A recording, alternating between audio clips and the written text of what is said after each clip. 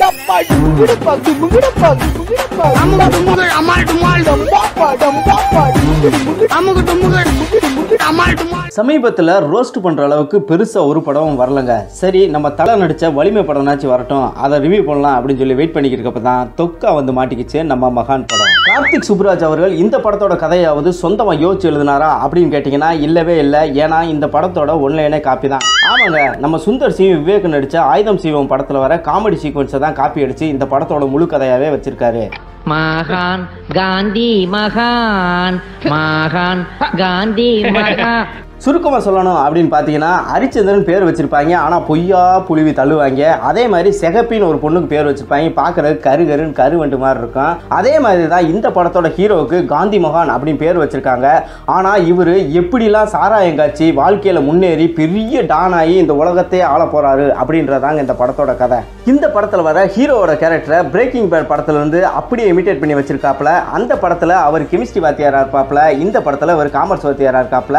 அதை தான் இந்த படத்தில் கதையாக வச்சிருப்பாரு அப்படின்னு நினச்சிங்கன்னா அது கிடையாது. அதுக்கப்புறமா வரக்கூடிய கதை சீக்வன்ஸ் எல்லாமே நம்ம ஜானி டெப் நடித்த ப்ளோ படத்துல தான் காப்பி அடிச்சிருப்பாப்புல. அந்த படத்தில் நம்ம ஹீரோ ஒரு சாதாரண ஆளாக இருப்பார். அப்புறம் இல்லீகல் பிஸ்னஸ்லாம் பண்ணி பண்ணி பண்ணி பண்ணி பெரிய டான் ஆகி ஒரு பெரிய மாஃபியாக்கே தலைவராகி பணத்தை கொளிக்க விடுவாப்புல.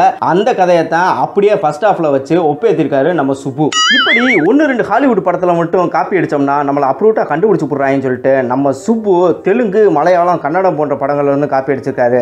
ஆமாங்க கேஜிஎஃப்ல இருந்து கொஞ்சம் சீன்ஸை காப்பி அடிச்சிருக்காப்புல. அதே மாதிரி புஷ்பா படத்துல இருந்து சில சீன்ஸை காப்பி அடிச்சிருக்காப்புல. இருந்தாலும் நம்ம டைரக்டர் சார் ரொம்பவுமே ஜென்யூனுங்க அதாவது டேரக்டர்ஸ் எல்லாமே ஏதாச்சும் ஒரு படத்துலேருந்து கதையோ ஏதோ அதாவது தழுவி வந்தாலோ காப்பி அடித்தாலோ அந்த படத்துக்கு வந்து கிரெடிட்ஸ் போடுவாங்க. ஆனால் இவர் வந்து படம் முடிஞ்சதுக்கப்புறம் கிரெடிட் போடாமல் இவர் படத்திலே நடுவு நடுவில் சீனாக வச்சிருக்காரு. ஒரு சீனில் ஒரு லாரிக்கு பின்னாடி ப்ளோ படத்துலேருந்து இவர் காப்பி அடிச்சேன் அப்படின்றத காட்டுறதுக்காக ப்ளோ ஹான் அப்படின்னு எழுதியிருப்பாப்புல. அதுக்கப்புறம் பார்த்துட்டிங்கன்னா கேஜிஎஃப்ல இருந்து சில சீன்ஸ் அந்த சிண்டிகேட் சீன்ஸ் அந்த டான் சீன்ஸ்லாம் காப்பி அடிச்சிருக்கனால பாபி சிம்ஹா பையனுக்கு ராக்கினே பேர் வச்சிருப்பாரு. ஆமாங்க கேஜிஎஃப்ல ஹீரோ பேர் ராக்கி. இதுல வந்து அவர் பையன் பேர் ராக்கி. அப்படி வந்து கிரெடிட் கொடுத்துட்டாப்ல புஷ்பா படத்துல இருந்து சில சீன்ஸ் காப்பி அடிச்சிருக்காரு போல. அதனால அங்கங்க கல்யாணம் அப்புறம் இளவுன்னு சொல்லிட்டு பூக்களை காமிச்சிருக்காரு. அதாவது புஷ்பம். அதனால வந்து அதுக்கு கிரெடிட் கொடுத்துருக்காரு. அப்ப பிரேக்கிங் பேட் படத்துக்கு எங்கடா கிரெடிட் கொடுத்துருக்காரு அப்படின்னு நீங்க கேட்கக்கூடாது. நடுவில் ஒரு இடத்துல தந்தி டிவி ஆன் பண்ணி பாருங்க அதுல பிரேக்கிங் நியூஸ் வந்திருக்கு அப்படின்னு போடுவாங்க. இதுதாங்க சிம்பாலிக்கா காட்டியிருக்காப்ல அதாவது பா ரஞ்சித் மாரி செல்வராஜ் பாணியில சொல்லணும்னா குறியீடுகள். அந்த மாதிரி குறியீடுகளை தான் படத்தில் வச்சு நெப்பியிருக்காரு. எங்கெங்க இருந்து காப்பி அடிச்சிருக்காரு அப்படின்றது நீங்க அதை பார்த்தாவே தெள்ள தெளிவா தெரியும் உங்களுக்கு. இந்த கதையில ஹீரோவும் ஹீரோயினும் பிரியறதுக்கு ஒரு அருமையான ரீசன் ஒன்று வச்சிருக்காரு பார்த்தீங்களா அல்டிமேட்டுங்க ஏன்னா நம்ம ஹீரோ வந்து ஒரு தேச துரோக குற்றம் அதாவது வேர்ல்டு வார் த்ரீக்கே இதான் ரீசனாக இருந்திருக்கும். அப்படிப்பட்ட விஷயத்தை வந்து அவர் பண்ணியிருப்பாப்புல.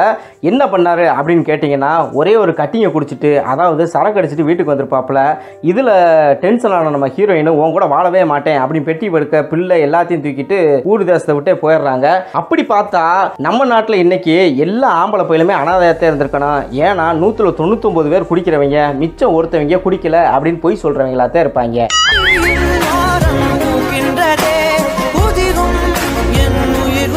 அட அது கூட பரவாயில்லைங்க. ஆனால் அவங்க அப்பனை எப்படியாவது பழி வாங்கணும்னு சொல்லி பையன் படித்து ஐபிஎஸ் ஆகுறான் பார்த்தீங்களா பா வேற லெவலுங்க. இப்படி பார்த்தா நம்ம ஊரில் ஏகப்பட்ட பேர் ஐபிஎஸ் ஐஏஎஸ் ஆத்தே ஆயிருக்கணும் ஆனால் எங்களுக்கு அதை பழி வாங்கணும்னு எங்களுக்கு தோணலையே. இன்ட்ரோல் பிளாக்கு முன்னாடி தான் ஹீரோவோட பையனோட இன்ட்ரோ பார்க்கவே பயங்கரமாக இருக்குது. அவர் யாருன்னு பார்த்தீங்கன்னா பெரிய போலீஸ் ஆஃபீஸருங்க அதுவும் என்கவுண்டர் ஸ்பெஷலிஸ்ட்டாக வராப்புல. நியாயமாக பார்த்தா யாரையும் கொல்லாமல் இருக்கிறது தான் அஹிம்சை. ஆனால் துப்பாக்கியை கொடுத்து நீ ஐபிஎஸ் ஆகி நீ உங்கள் ஒப்பனை போய் சுட்டுட்டு வாடான்னு அவங்க அம்மாவே அனுப்பிச்சு வச்சதா சொல்கிறேன் பண்ணுறாங்க இது எப்படி நியாயம்? இதில் விக்ரமோட பையன் விக்ரமை எப்படியாவது கொண்டே விடணும் இவனை பழி வாங்கிடணும் அப்படின்னு வராப்புல ஆனால் இவரை தவிர எல்லா பேர்த்தையும் சுட்டு கொள்றாப்புல ஆனால் விக்ரம் அங்கனையே தான் இருக்காப்புல. ஆனால் சுடவே மாட்டாப்புல ஒருவேளை கிளைமேக்ஸுக்கு தாங்காது அப்படின்னு சொல்லி இந்த சீனை செவ்வா இழுத்துருக்காரு அப்படின்னு தான் சொல்லணும். தளபதி விஜய் நடித்த நண்பன் படத்துக்கு அப்புறமா ஃப்ரெண்ட்ஷிப்புக்கு ரொம்பவுமே முக்கியத்துவம் கொடுத்துருக்காங்கன்னே சொல்லணும். இந்த படத்தில் இவங்க யார் பார்த்தாலுமே ஃப்ரெண்டு தாங்க. அதாவது இவருக்கு வந்துட்டு அந்த பார் ஓனரை பார்த்தா அவர் சின்ன வயசு ஃப்ரெண்டு அப்புறம் பார்த்தா மினிஸ்டரை பார்த்தா அவர் சின்ன வயசு ஃப்ரெண்டு ஆனால் இவங்களெல்லாம் யாருக்குமே யாருக்கும் அடையாளமே தெரில ஆனால் எனக்கெல்லாம் அப்படி இல்லை. சின்ன வயசுலேருந்து இப்போ வரைக்கும் நான் பார்க்குற முகரைகள்லாம் அப்படியே தான் இருக்குது. எனக்கெல்லாம் அடையாளம் தெரியுதுங்க. இவங்க மட்டும் தழும்புகளை வச்சு தான் கண்டுபிடிக்கிறாங்க. இதை எந்த படத்தை பார்த்து காப்பி அடிச்சா நானும் தேடி பார்த்தேன். கிடைக்கல. அதுக்கு தாங்க ரெண்டு நாள் லேட் ஆயிடுச்சு. சுப்பு சாட்டை கேட்டால் இதுக்கு ஒரு விட தெரியும்னு நினைக்கிறேன். தளபதி விஜயை கேவலப்படுத்துகிற விதமாக இந்த படத்தில் அந்த சரக்குக்கு அவர் நடித்த படத்தோட டைட்டிலான சுறான்றதை வச்சுருக்கீங்களே அப்படின்னு கார்த்திக் சுப்ராஜ்கிட்ட கேட்டப்ப இந்த சரக்கை விட மோசமானது தான் அந்த படம். அதாவது அவ்வளோ கேவலமாக அந்த படம் இருந்துச்சு. அதை தயவுசெய்து என் சரக்கோட கம்பேர் பண்ணாதீங்க அப்படின்னு மொக்க கொடுத்துட்டாராம். இது நான் கேள்விப்பட்ட ஒரு விஷயம். இந்த படத்தில் நைன்டீன் சிக்ஸ்டீஸில் சாராய காய்ச்சல்லாம் பெரிய குற்றம் மாதிரி காமிச்சிருக்காப்புல. அந்த டயத்தில் அது நார்மல் தாங்க. கல் கடை இருந்திருக்கு சாராய கடையெல்லாம் இருந்திருக்கு. அப்பயும் அது இல்லீகல் கிடையாது. அது மட்டும் இல்லாமல் இப்போ டூ தௌசண்ட்க்கு அப்புறமா வந்துட்டு இந்த டாஸ்மார்க் வந்ததுக்கு அப்புறமா இவங்க சரக்கு மேனுஃபேக்சரிங் பண்ணி டாஸ்மார்க் கொடுத்த மாதிரி காட்டியிருக்காங்க. இது இல்லீகல்னா இன்றைக்கி இருக்க அரசியல்வாதிகள் எல்லா பேரும் உள்ளதாக இருந்திருக்கணும் ஏன்னா எல்லா ஃபேக்ட்ரியும் அவங்களோட தான் இருக்குது. இது எந்த லெவலில் லாஜிக் பார்த்தாருன்னு எனக்கு தெரியல. இந்த படத்தோட கதையை ஜஸ்டிஃபை பண்ணுற மாதிரி அருமையான சூப்பரான ஒரு டயலாக் ஒன்று வச்சுருக்காருங்க. அது என்ன அப்படின்னா இந்த சமூகத்தில் நான் குடிக்க கூட உரிமை இல்லைன்னா எதுக்கு எனக்கு சுதந்திரம் அப்படின்னு கேட்டிருக்காப்புல ஹீரோ? அருமையான கேள்வி. ஆனால் இதை கேட்குறதுக்கு நம்ம மகாத்மா காந்தி இங்கே இல்லையே அப்படின்றத என்னோட வருத்தம். இருந்திருந்தா மறுபடியும் அவரே சுட்டுக்கிட்டு கூட செத்துருப்பாப்புல. ஜிகிர்தண்டா படத்தில் பாபி சிம்மாவை ஹீரோவாக்குறேன் அப்படின்னு சொல்லி படம் எடுத்து அவரை காமெடியன் ஆக்கி விட்டுருப்பாப்புல. அதையே தாங்க விக்ரமுக்கும் பண்ணியிருக்காப்புல. சியான் விக்ரம் சாருக்கு எங்கள் சேனல் சார்பில் ஒரே ஒரு கோரிக்கை வைக்கிறோம். அதாவது இனி வர டேரக்டர்ஸ் யாச்சும் ப்ராப்பராக கதையை கேளுங்க சார். அப்படி பிடிக்கலன்னா அஸ்வின் மாதிரி தூங்கிடுங்க அதை விட்டு விட்டு கதையே கேட்காம எத்தனை கெட்டப்பு? என்ன மாதிரிலாம் நான் வந்து டிஃப்ரெண்ட்டாக என்னை காட்ட போகிறீங்க என்ன முடி வளர்க்குறேன்னா முடி வளர்க்கலையா? எத்தனை ட்ரெஸ்ஸு கருப்பா செவப்பா? இப்படி மட்டும் பார்க்குற நீங்கள் தயவு செய்து கதையை கேளுங்க. இல்லாட்டி அஸ்வின் மாதிரி தூங்கிடுங்க எங்களுக்கும் பணமும் மிச்சமாக இருக்கும் டைமும் மிச்சமாக இருக்கும் சார் எப்படியோ கார்த்திக் சுப்ராஜ் வந்து ஷார்ட் ஃபிலிம் டைரக்டர் அப்படின்றத தெளிவாக காட்டுறாரு. ஏன்னா அவர்கிட்ட எப்பயுமே பத்து நிமிஷத்துக்கு தான் கண்டென்ட் இருக்கேன். அதை ரெண்டு மணி நேரம் மூணு மணி நேரம் ஜவ்வா எழுத்துட்டாப்புல அதை இந்த படத்துலையும் ப்ரூவ் பண்ணிட்டாருன்னு தான் சொல்லணும்.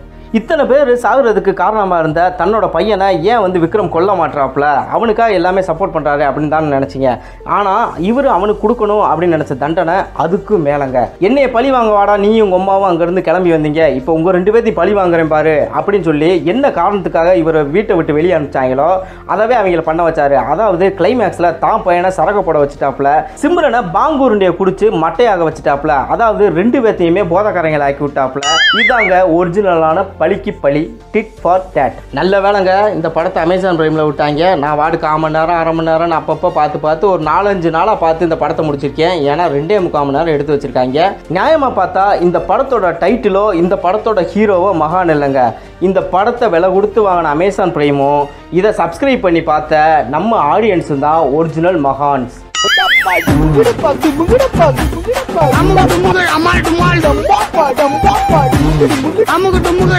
முங்கிடப்பா